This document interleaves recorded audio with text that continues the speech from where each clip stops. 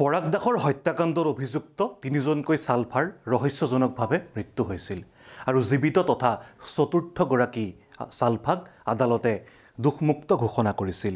সেয়ে সাধাৰণ ৰাইজে আজিও প্ৰশ্ন কৰে পৰাগ দাসলৈ গুলীবৰ্ষণ কৰা চাৰিটাকৈ অভিযুক্তৰ আঁৰত কোন আছিল?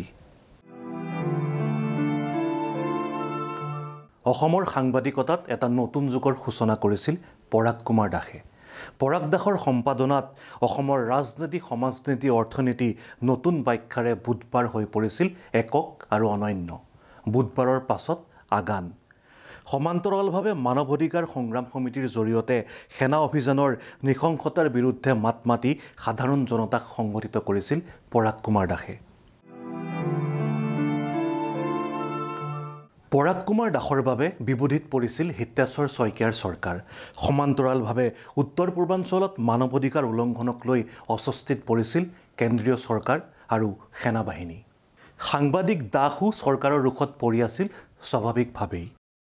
ঊনৈছশ একানব্বৈ চনত গ্ৰেপ্তাৰ কৰা হৈছিল এন এছ এৰ অধীনত পৰাগ কুমাৰ দাসক। এয়াই শেষ নাছিল।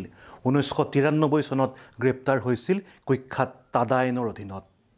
অন্যান্য বিষয়ৰ লগতে পৰাগ কুমাৰ দাস সৰব আছিল ছালফাৰ অপকৰ্মক লৈ। বাৰে বাৰে ছালফাৰ সৈতে সংঘাত হৈছিল পৰাগ কুমাৰ দাসৰ।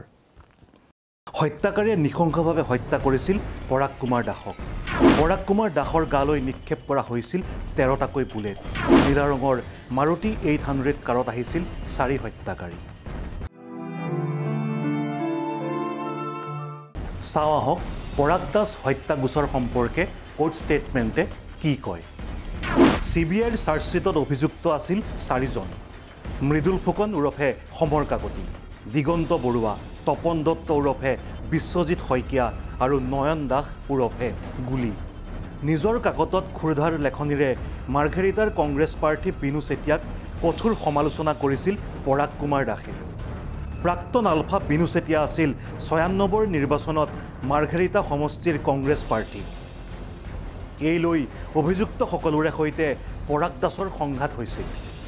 দিগন্ত বৰুৱা আৰু বিশ্বজিৎ শইকীয়াই প্ৰতিদিনৰ কাৰ্যালয়ত ভাবুকি দিছিল পৰাগ কুমাৰ দাসক।